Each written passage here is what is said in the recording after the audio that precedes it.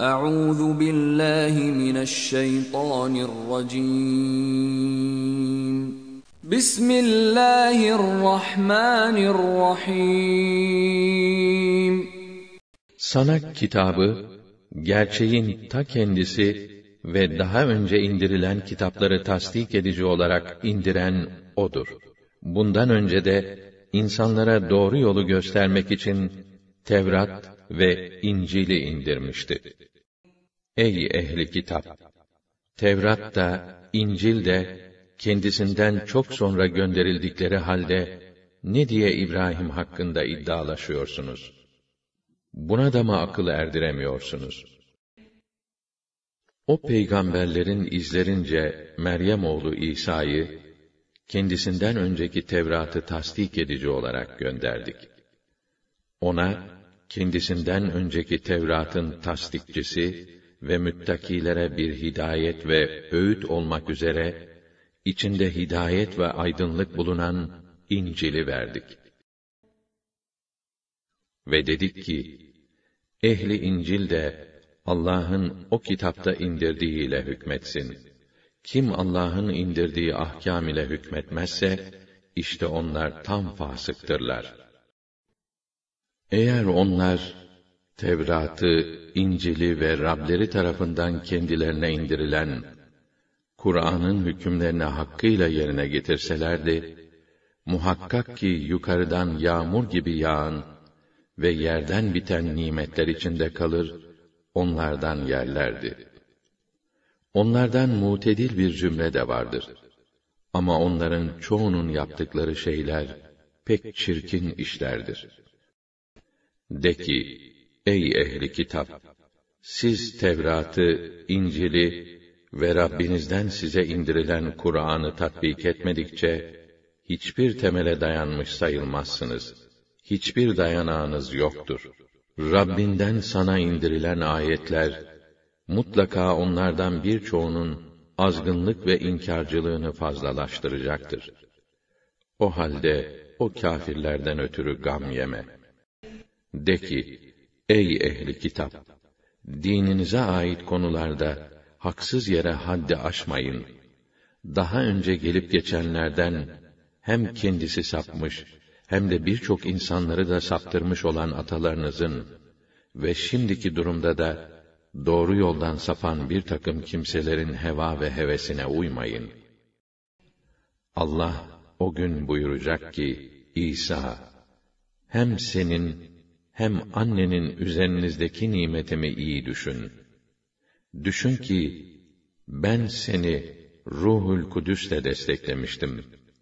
Sen beşikteyken de, yetişkin iken de insanlarla konuşmuştun. Ben sana kitabı, hikmeti, Tevrat ve İncil'i öğretmiştim. Sen benim iznimle çamurdan kuş şeklinde bir şey yapıyor, ona üflüyordun. O da benim iznimle kuş olu veriyordu. Düşün ki sen benim iznimle anadan doğma amanın gözünü açıyor, abraşı da iyileştiriyordun. Düşün ki sen benim iznimle ölüleri kabirden diri olarak çıkarıyordun. Hani ben İsrail oğullarının şerlerini, öldürme kasıtlarını senden def etmiştim. Kendilerine apaçık deliller, mucizeler getirdiğin zaman da onların kâfirleri bu besbelli bir büyüden başka bir şey değil demişlerdi. Onlar ki yanlarındaki Tevrat ve İncil'de vasıfları yazılı o ümmi peygambere tabi olurlar. O peygamber ki kendilerine meşru şeyleri emreder, kötülükleri yasaklar, kendilerine güzel ve hoş şeyleri mübah, murdar şeyleri ise haram kılar.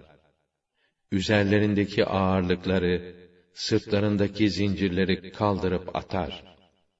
Ona iman eden, onu destekleyen, ona yardımcı olan ve onunla beraber indirilen nura tabi olanlar var ya, işte felaha erenler onlardır.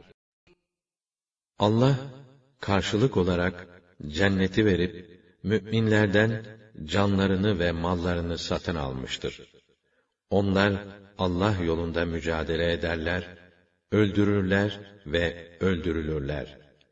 Bu Allah'ın Tevrat'ta da, İncil'de de, Kur'an'da da üstlendiği gerçek bir vaattir. Verdiği sözde Allah'tan daha sadık kim olabilir?